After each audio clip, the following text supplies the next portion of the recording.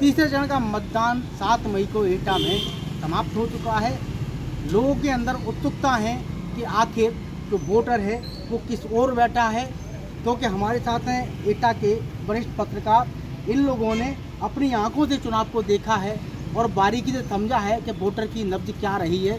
Voter ने किस ओर बैठकर किसके सर पर जो है चार जून को जीत का ताज बांधेगा। ऐसे ही हम सब हमारे साथ हैं। वरिष्ठ पत्रकार राकेश भदौरिया इनसे जानेंगे, क्योंकि इन्होंने बड़ा बारीकी से एटा के चुनाव को देखा है। राकेश जी, बताएँ, किस तरीके से ये चुनाव आपने देखा है? क्या वोटर की नब्ज रही है इस बार? देखिए, संजीव जी, इस बार का चुनाव पिछले चुनावों से काफ़ी भिन्न रहा है। एटा जनपद में अभी तक हमेशा लड़ाई बीजेपी और समाजवादी पार्टी के बीच में रही है, लेकिन समाजवादी पार्टी पिछले कई टर्म से यादव कैंडिडेट उतारती रही है, जिससे बीजेपी का रास्ता बहुत आसान हो जाता था। इस बार मुझे लगता है अखिलेश यादव ने सोशल इंजीनियरिंग का और जो पीडीए का उनका फॉर्मूला था, उसका सबसे नया प्रयोग किया है एटा में और एक साख्य प्रत्याशी उतार दिया, जिससे समीकरण कुछ उथल पुथल हुए हैं।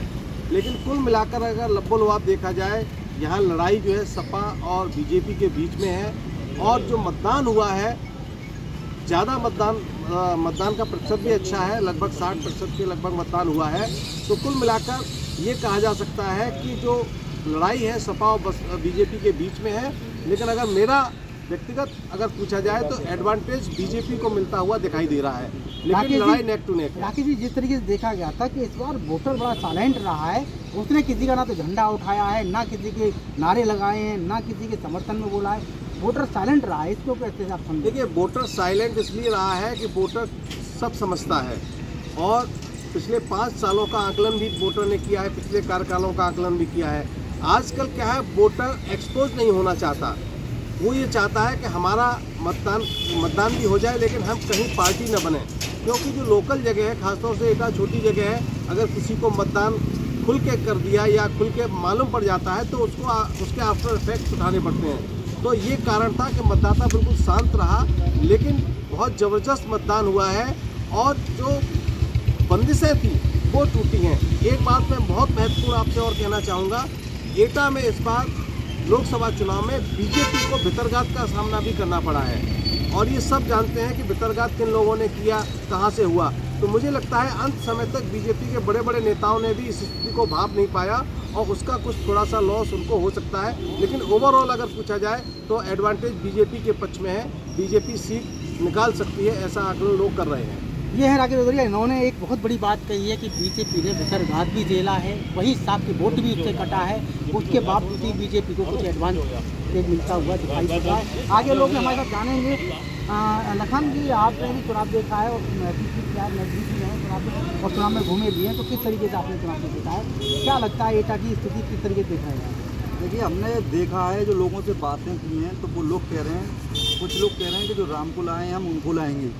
ठीक है, ज़्यादातर लोग बीजेपी की कह रहे हैं, जो हमसे लोगों से बात हुई है, और एक तरफ़ किसानों से जब गाँव गाँव में जाके बात की है तो वो लोग कह रहे हैं कि कांग्रेस की बात कर रहे हैं, कि कांग्रेस आएगी सत्ता में, वो किसानों के कर्जे की माफ़ की बात कर रही है। इन लोगों का जो है, जो घोषणा पत्र है बीजेपी के, घोषणा पत्र में दम नहीं है। लेकिन शहर में जब हम घूमे तो वो शहरी लोग जो कह रहे हैं, वो बीजेपी की बात कर रहे हैं। शहरी लोग बीजेपी की बात कर रहे हैं, क्योंकि शहर में ज़्यादातर बीजेपी का वोट बैंक ज़्यादा है गाँव में अन्य पार्टियों का भी रहता है। हमारे साथ हैं एटा के वरिष्ठ पत्रकार देवेश पाल सिंह जी। इनसे जो, इनसे जानेंगे जो उन्होंने चुनाव देखा है, वो किस नज़रिए से देखा है, कैसा चुनाव देखा है, किस ओर जाता हुआ चुनाव देखा है, देवेश जी, किस तरीके से आपकी क्या प्रक्रिया है? देखिए संजीव जी, ये चुनाव जो है, इस बार जो 2024 का चुनाव अपने आप में एक चौंकाने वाला चुनाव है। वोटर साइलेंट रहा है। वोटर जो लहर दो हज़ार बीजेपी की तरफ़ जाती दी वो इस बार कोई लहर जो है नहीं दिखाई और जो जोश और खरोश जो होता है मतदाताओं में, वो भी कम देखा गया। दूसरी बात ये हुई कि जो समाजवादी पार्टी के जो अखिलेश यादव हैं, उन्होंने एक चेंज किया और जो है पार्टी कम्युनिटी से उन्होंने अपना प्रत्याशी करा, जो कि बीजेपी का जो कोर वोटर माना जाता था। और जिसने 2019 में तरफा मतदान किया और जिसकी वजह से फिर लंबे मार्जिन से बीजेपी जीत दूसरा जो बात, एक दिलचस्प बात हुई ये हुई कि जो वर्तमान जो सांसद हैं वर्तमान सांसद हैं, और प्रत्याशी भी उनकी जो दो टन की इनकम लोगों में, वो इतनी ज़्यादा थी कि लोग उनसे बहुत नाराज़ थे। उनके जो जो लोगों से कनेक्ट होती थी, जिसकी शिकायत की गई कि ये लोगों से मिलते नहीं, उसको लेकर के भी काफ़ी नाराज़गी लोगों में देखी गई। हालाँकि बीजेपी सांसद ने बाद में माफ़ी भी मांगी और उसका असर भी हुआ मीटिंग भी हुई, और सवाल बोर्ड जो है नाराज़ था वो बीजेपी की तरफ़ गया भी लेकिन जो रुझान है वो जो जोश था सवाल बोर्ड का वो थोड़ा सा कम देखा गया। जो आ, मैं इसमें बता दूँ कि जो वोटिंग अच्छी हुई है और जो सीट है ये जो पहले बीजेपी की वन साइडेड सीट मानी थी वो सीट इस समय फंसी हुई है। और मार्जिन जीत का इतना कम है कि ऊँट किस करवट बैठेगा ये कहने की कोई भी स्थिति में नहीं है। हालाँकि समाजवादी पार्टी की तरफ़ जो रुझान रहा है वो मुस्लिम का पूरा रुझान समाजवादी पार्टी की तरफ़ गया है, यादव कम्युनिटी का पूरा रुझान समाजवादी पार्टी की तरफ़ गया है, वहीं साक्य कम्युनिटी का पूरा रुझान गया वहीं जो एक संविधान से छेड़छाड़ का जो नैरेटिव चला है, आपने देखा तो वो जो बीएसपी का क्योंकि प्रत्याशी कमज़ोर था तो उसमें दलित वोट जो ज़्यादा जो मेजर संख्या है, वो समाजवादी पार्टी की तरफ़, कुछ बीजेपी को भी दलित वोट मिला है, लेकिन जो पढ़ा लिखा दलित है जा, जाटव है नॉन जाटव है वो भी जो है उस नैरेटिव को लेकर के समाजवादी पार्टी की तरफ़ मूव हो गया है वो। तो ये जो जो इसका जो जो खेल जो दलित वोट का हुआ है वो जो ऐसा खेल दिलचस्प उसने मुकाबले को बना दिया पहली बार देखने को मिल रहा है कि दलित भी कटकर जो है बीजेपी बिल्कुल। बीएसपी से कटकर सपा की तरफ़ ये ये ये बसपा के के लिए बड़ा चिंता का सबब है कि अगर ऐसा होता है तो बसपा को विचार करना होगा कि वो अपना वोट कैसे आपको दोबारा से बाँध के रख पाएगी। और इसी वजह से ये जो पूरा जो सीट का जो आंकड़ा है वो इस कदर फंसा हुआ है कि आ, कौन जीतेगा ये कहना बहुत मुश्किल है। कहाँ क्योंकि रुझान जो है वो सपा की तरफ़ भी गया है रुझान बीजेपी की तरफ़ भी गया है लेकिन वोटों का जो बंटवारा है वो इस कदर से हुआ है कि वो सीट एक एग्जैक्टली नेक टू नेक लड़ाई पे आगे फंस गई है।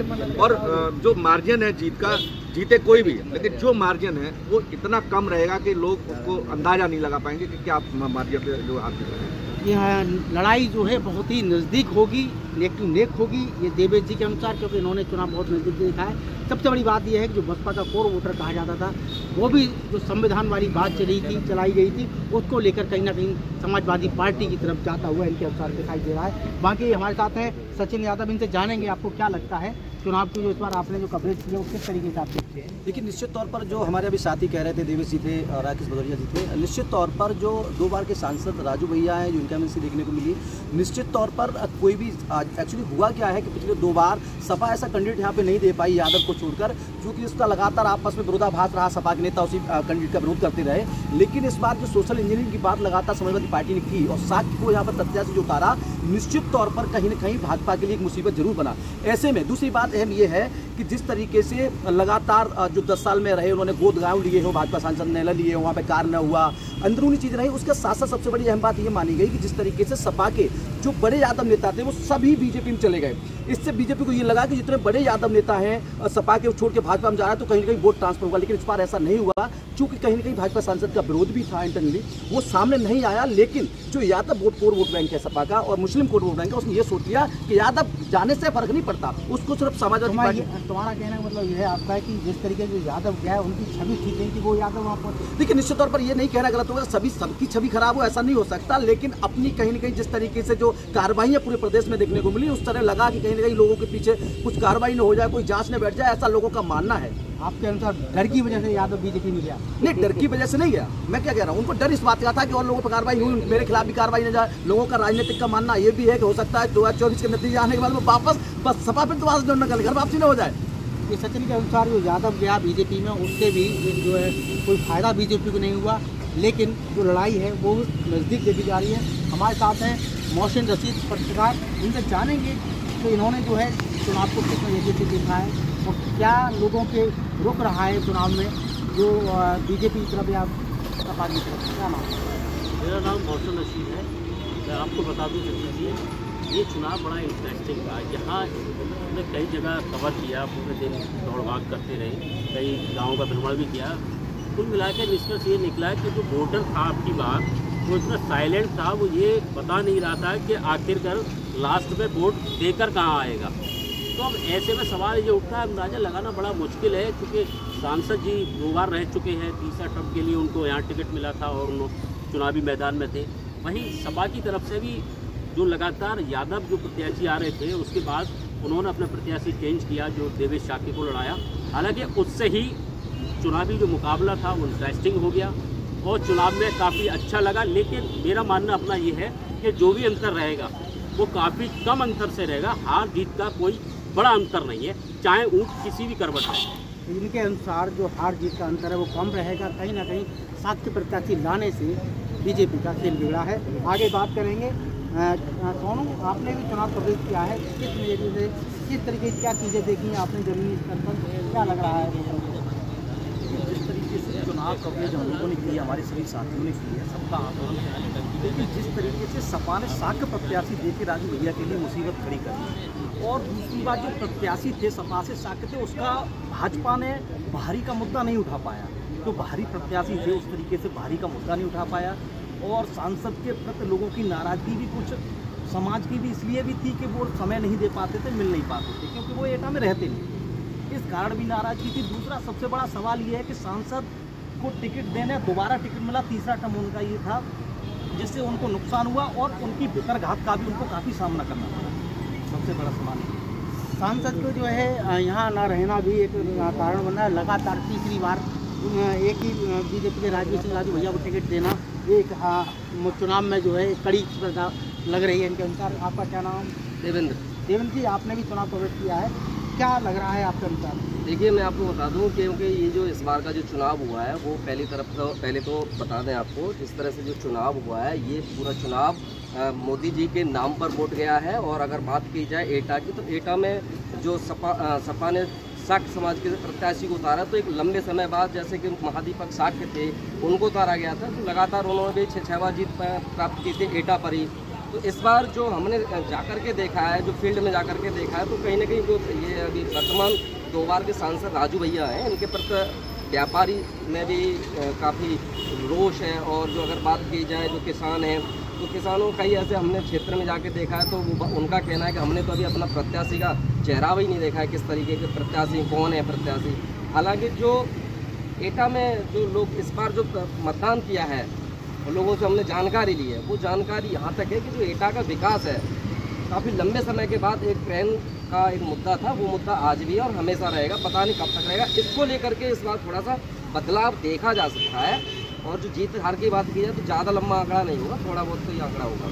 तो ये है देवेंद्र इनके अनुसार भी चुनाव को जो है कहीं ना कहीं जो अ, राजवीर सिंह राजू भैया लोगों के बीच में ना पहुँचने की नाराज़गी का भी उनको सामना देखना पड़ रहा है। हमारे साथ हैं अभिकांत के साथ वरिष्ठ पत्रकार हैं इनसे जानेंगे कि इनका जो नज़रिया रहा है तो आपको देखने का किस तरीके से रहा है और क्या अनुभव किया है। है हैं हैं महँगाई बेरोजगारी के अलावा है कम आना और मतलब ऐसा नहीं सभा के प्रत्याशी विशेष है उनका बाहरी मुद्दा है इस बार हो सकता है नोटा की संख्या ज़्यादा नोटा की संख्या और दूसरी राजनीति सिंह ने बहुत है, जैसे कि दावा करते हैं यहाँ उन्होंने रेल के लिए कराया। जगह कभी कभी का ये कराया। लेकिन जब स्थानीय लेवल के पब्लिक से इस बारे में बात करो मुझे कहते हैं कि हर बार आते हैं, हर बार बातें करते हैं।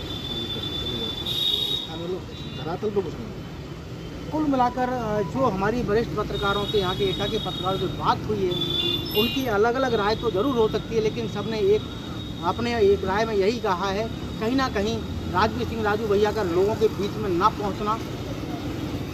लगातार तीसरी बार चुनाव मैदान में आना, एंटी कम्बेंसी और लोगों के बीच में कम्युनिकेशन गैप एक बड़ा रीजन हो सकता है। अब ऑफिशियल तो चार जून को ही पता चलेगा, जीत का चेहरा किसके सर बनेगा हालाँकि लड़ाई जो है, समाजवादी पार्टी और बीजेपी के बीच देखने को मिली है। इटा संजीव गुप्ता, भारत समाचार सरपंच जयपुर